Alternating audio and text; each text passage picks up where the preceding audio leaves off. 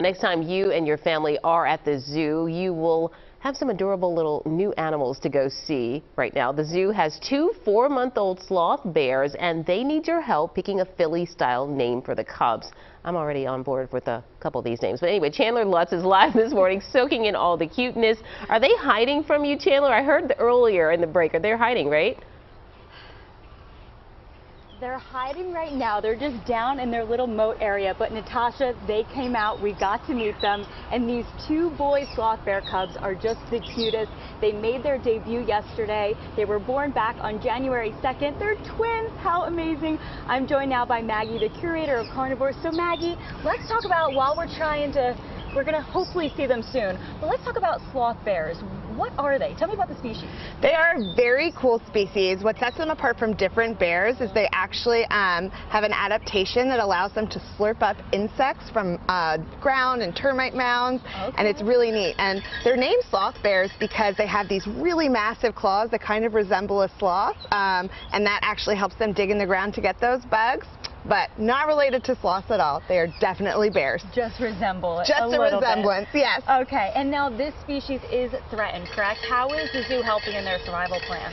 That is an excellent question. So yes, this species is threatened and part of our mission here is to save endangered species and make sure that, you know, it doesn't elevate to an endangered status.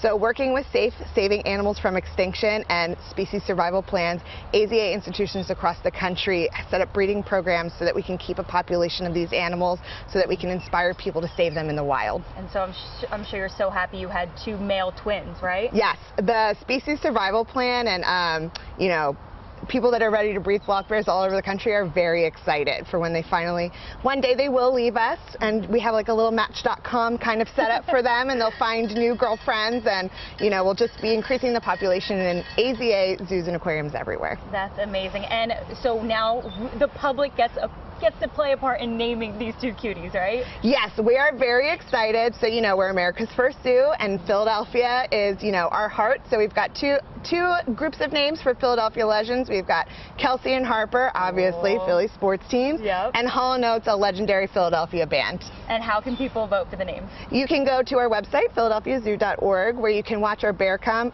Cam, sponsored by Xfinity, or you can go to CBS's website. Perfect. Yes, we have a link on our website there, and I think they are still hanging out in their moat. we aren't hiding. getting to nap time, um, okay. um, so you have been an integral piece of training them to be on exhibit with us and getting them used to all the, you know, razzle dazzle. Perfect. But just like normal toddlers, they do like to take their naps. They do, and we were taking pictures of them. We were getting them ready, and lastly, it was, you know, Memorial Day is just around the corner. When is the best time, if not nap time, to come to come see the Cubs? Afternoons. So we're working with them in a schedule, and so afternoons will be majority of the time that we put them out. Amazing. And you'll see them bouncing around the exhibit looking for all the snacks we hide. Awesome. Thank you so much, You're Maggie. very welcome. Well, unfortunately, we didn't get to see them right now, but as I was posting on social media the pictures and we were posting videos, they are just the cutest. I definitely have my favorites and names, but you can go to our website for a link and you can name them yourself.